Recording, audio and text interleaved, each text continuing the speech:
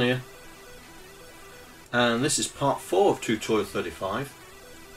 And in this tutorial we are going to be setting up the game and figuring out what our game loop's going to be. So, let's see if we can uh,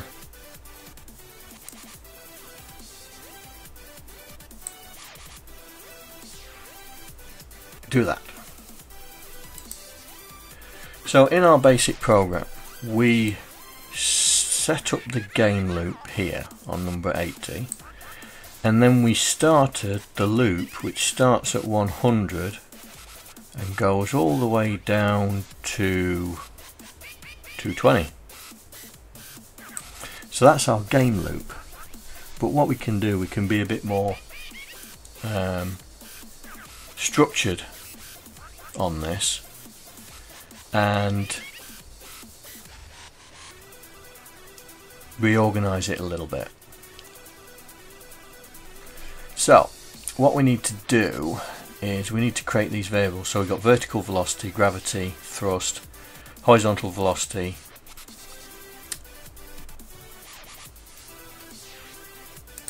horizontal velocity HI. What do what did we use for HI? Oh, that's the that's the inertia, isn't it? Horizontal inertia. Horizontal velocity, horizontal inertia. Right, so that we need to create some um, variables for that. So we'll go back to our working store. So vertical veloc velocity. Um, what else do we want? Vertical velocity gravity gravity thrust. So this is gravity. Thrust. No not thrust color just thrust. No, just thrust. Stop it. Uh, what else did we want? Horizontal velocity, horizontal inertia. So, hori horizontal velocity and horizontal inertia.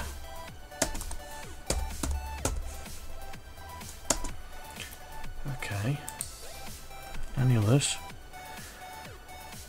So we've got the thrust sprite. So thrust sprite frame number.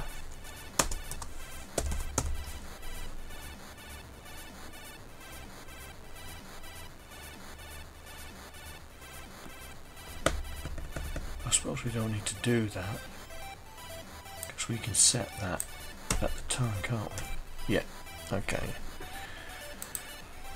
Um, what else? Vertical velocity.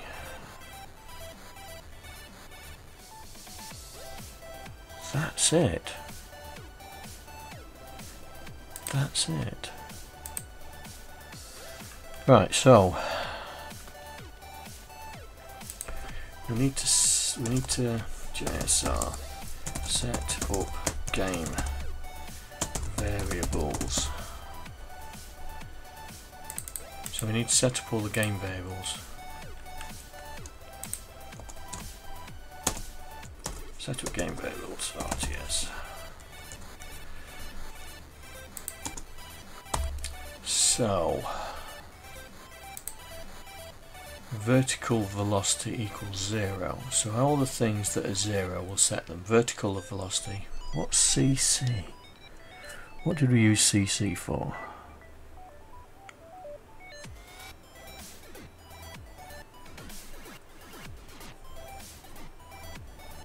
What should be in the counter?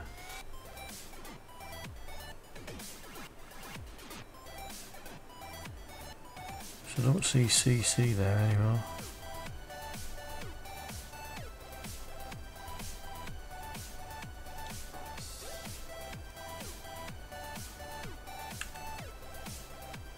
Right, so vertical velocity and horizontal velocity set to zero.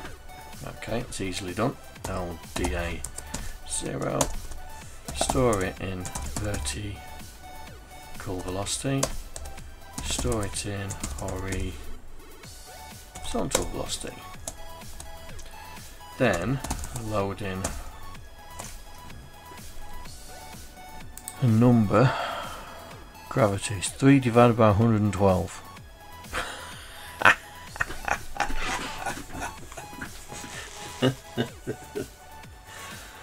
Um, oh, gobblers. Right.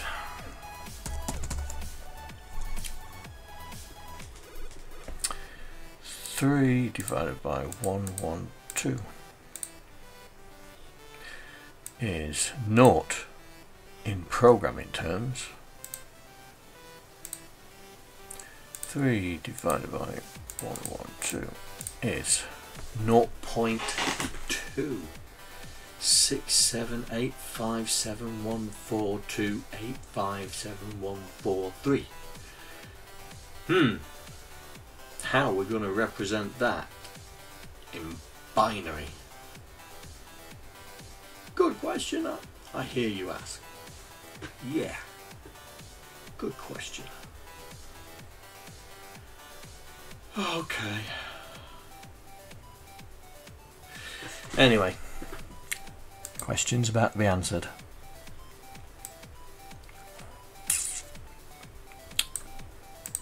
Welcome to the world of fractions. So, this is what we know as a fraction. So on this side in decimal it's either 1, 10, 100, 1000, 10,000, 100,000, blah blah blah blah.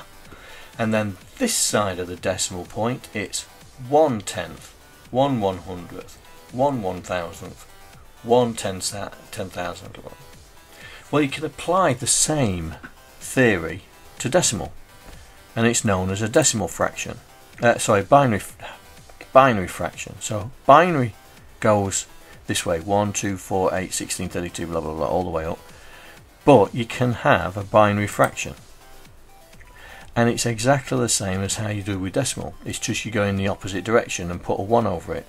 So the first bit is 1 half, second one is 1 quarter, third one is 1 eighth, fourth one is 1 sixteenth, and so on.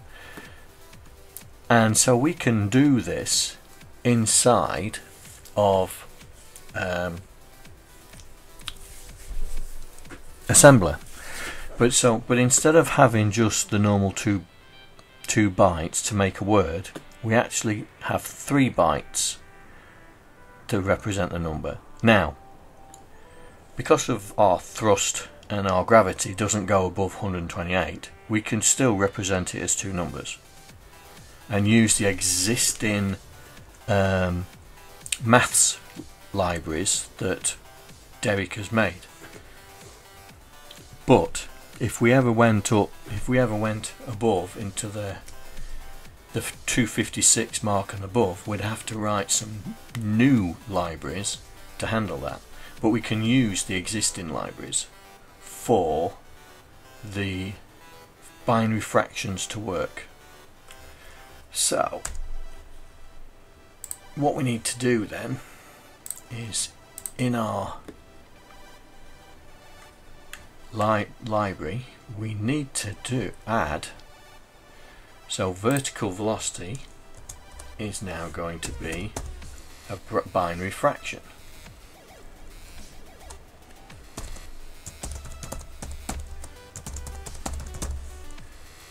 Frac fraction.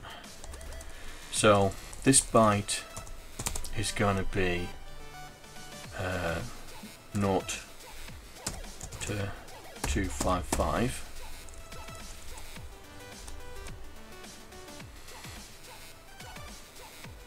No, no, no, no, no. This is going to be 1 to 8th, 1 128th, 2, 1.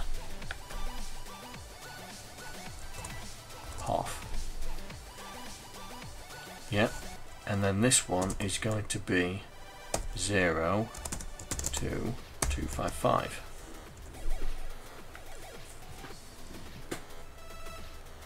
God, this is going to be hard working it out. so we do the same with gravity, because gravity is going to have the same thing. Thrust, same thing again there. Vertical velocity, vertical velocity is going to be the same. Inertia is going to be the same.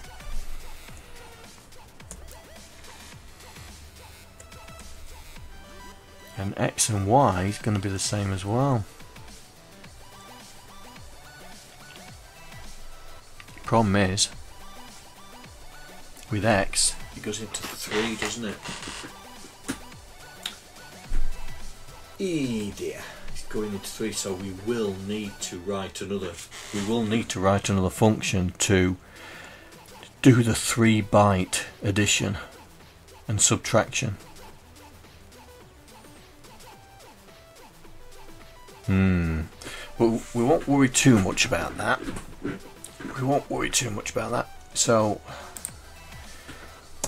we do the two bytes here. Do the two bytes here.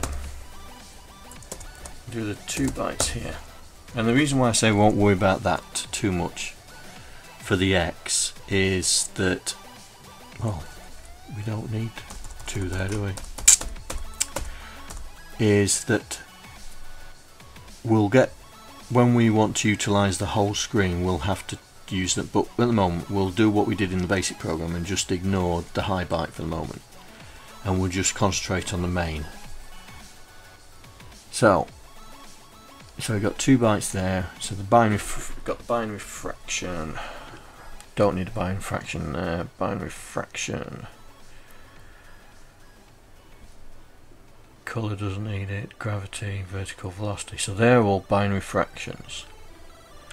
So we need to work out the numbers in binary fraction. So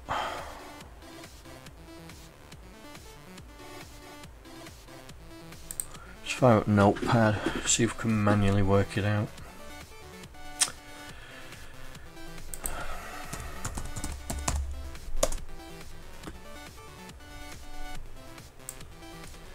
So, because we're going to be talking binary fractions, we're only going to do five. So 1 divided by 2.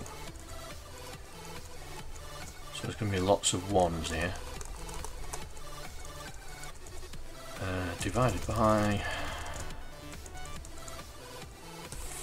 4, 8, 16, 32, 64, 128 so we don't need that lot.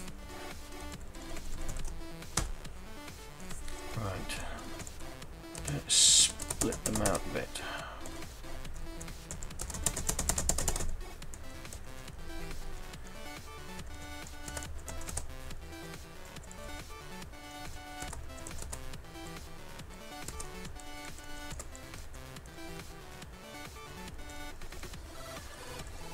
Oh dear.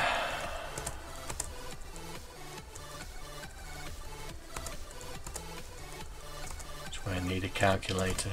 Getting late. It's getting late. Right. So one half, one quarter, one eighth, one sixteenth. Will that fit? 132, 164, and 128. So we had. Right, I've got got rid of the calculator now, haven't I? Calc.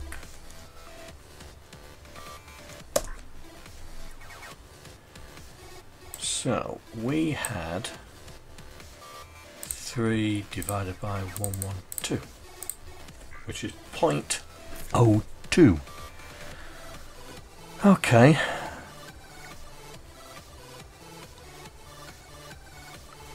How do I that out in a binary fraction?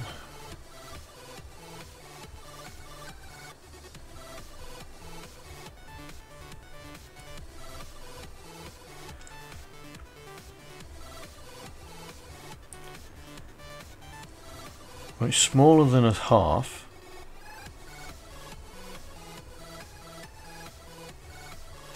Okay, so what's... Let's put that in memory. Clear. So what's 1 16th? 0.06. So that's still too big, so into 16th. Uh, 1 divided by 32. 0.3. That's still too big. Uh, 1 divided by 64. Alright, okay. Plus 1 divided by 1, 2, 8. Well, that went completely wrong, didn't it? Right, okay, so 1 divided by 64 plus 1 divided by 2, 8. That's still too big. Because that's 2, 6. Maybe we need to go even further down with the fractions. So we're going to, so yeah, we're gonna, gonna have to go down even further to the, to the fractions.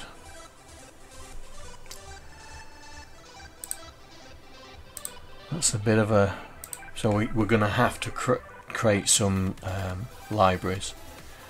So the, the fractions are going to be even uh, smaller. Right, so this one means it's going to be uh, 1 6 5 5 3 5 50th 6 5 5 3 5 2 1 over 256. So that's our binary fractions and it's only just so we can get those um, small values in there. So we're going to do 3, 3, 3, and 3. Right, so we're going to, and we're into 18 minutes already. So I haven't even started the setup. Right, what I'm going to do is I'm going to create these macros and then we're going to finish off setting up and the game uh, loop because this is going to take even longer. Alright then, so I will see you in the next video. If you like the video, please press that like button. If you didn't like it, fine, hit the dislike button. Always add a comment. And if possible, become a patron. Because everything helps. Right, I'll see you in the next video. Take care. Bye. I'd like to thank all the patrons that are contributing to my channel. Without you guys, I wouldn't be able to do what I'm doing right now. Thank you very much. Nothing compares to